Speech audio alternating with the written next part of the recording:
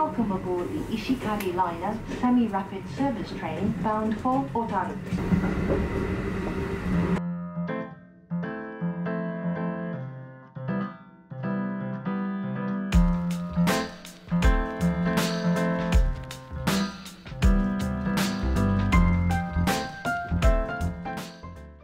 After a stay in Sapporo, we took a half hour train ride north to Otaru, a small port city facing the Ishikari Bay that served as a trading hub up until the mid 1900s. It's now considered a living museum of Japan's past, drawing in tourists looking to escape their busy metropolis life. While it's characterized by a scenic canal, it's also known for amazing seafood, so naturally our first stop was the Sankaku Market. The market is just a short walk from the Otaru train station, but is extremely narrow with not a lot of stalls, so it wasn't too hard to find this particular restaurant that we wanted to try. However, once we arrived, we were told that the wait time was around two hours. At this point, we were pretty traumatized from our experience of waiting in lines for restaurants in Sapporo, so we decided to try to come back the next day when they open at 8 a.m.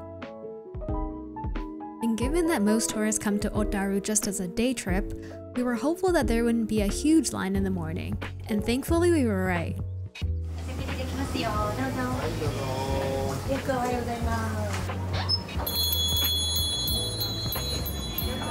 The market is famous for its kaisendon, which is a bowl of rice topped with an abundance of fresh locally caught seafood at very affordable prices. You can customize your bowl or choose from one of the pre-selected options.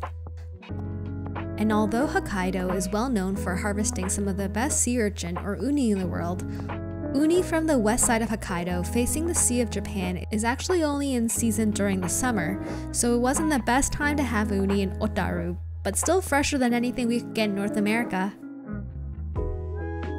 The first bowl that we ordered had a mountain of scallops, salmon, tuna, sweet shrimp, salmon roe, and uni. And for the second bowl, we went just for the uni and crab. In case you are wondering if a chirashi and kaisendon are the same, the difference lies in the rice and presentation. In a chirashi, the seafood is laid more flatly on a bed of vinegar sushi rice, whereas the kaisendon piles a mound of seafood on plain steamed rice. Every February, lit up snow statues and glowing lanterns are scattered across the city and along the canal for the Otaru Snow Light Path Festival which runs at the same time as the Sapporo Snow Festival that I talked about in my last video. Thousands of candles are lit every night and placed inside decorated jars and ice and snow sculptures, which are handmade by locals and some overseas volunteers. Given the unusually warm winter last year, volunteers had to make new snow sculptures almost every day of the festival as the snow kept melting and every time a gust of wind blew at one of the candles, a volunteer was standing nearby to light it back on. This is a tradition that has carried on for more than 20 years. The organizers say that the festival is a celebration of the scenic beauty of winter and its community spirit. As we walked through the snow covered, picturesque town, we were warmed not only by the glow of candles, but also by the love and dedication that went into organizing this event. As random as this might sound for a coastal city, Otaru has a very famous fried chicken shop that's worth checking out. Known for its tender spring chicken, it even delivers across Japan and to China. Ordered their half fried chicken, karage, and a steamed egg, but their expansive menu also has seafood if you're up for that. I thought that the karage was just okay, but the freshly fried chicken was so tender on the inside and the crispy thin skin was hardly even oily. We enjoyed it a lot and we had it a second time on our trip in a different town.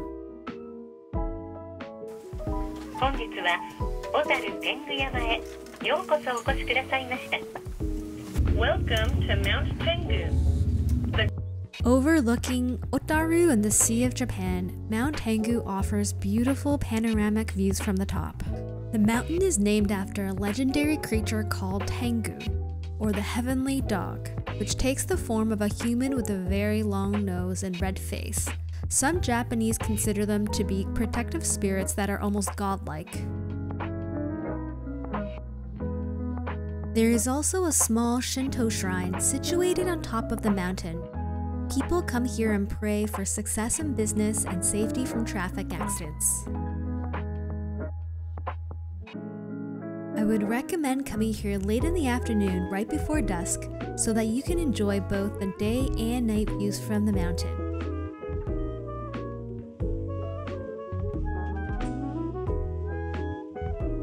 Next to the gift shop, you will find a Tengu museum and also a giant Tengu sculpture that is supposed to bring you good luck depending on how you rub the nose.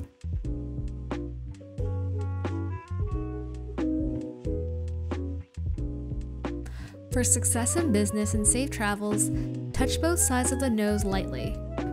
For success at school, place both hands on both sides and move forcefully to the top. For the well being of family members, touch the entire nose three times with each hand in turn. Many people also wrote messages and wishes for themselves and their families back home.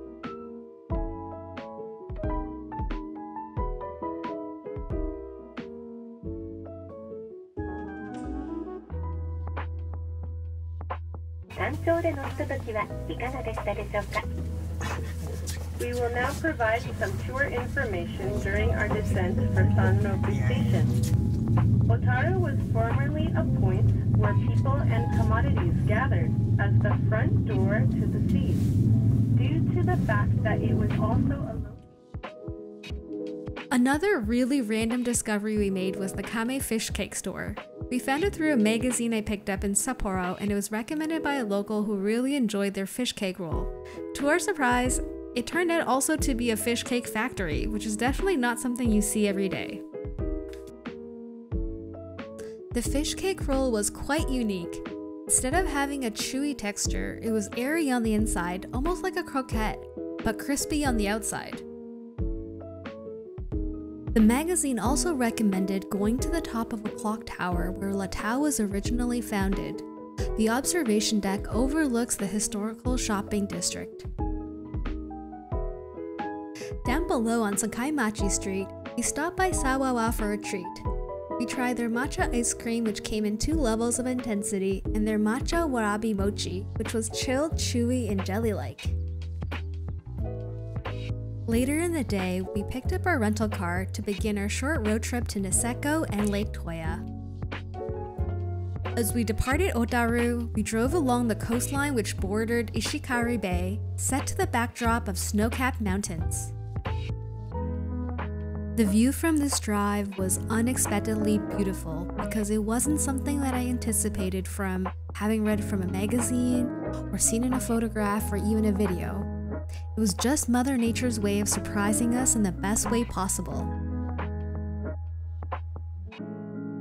Thank you for watching today's video. I hope you enjoyed it. Please like, comment, and subscribe if you did.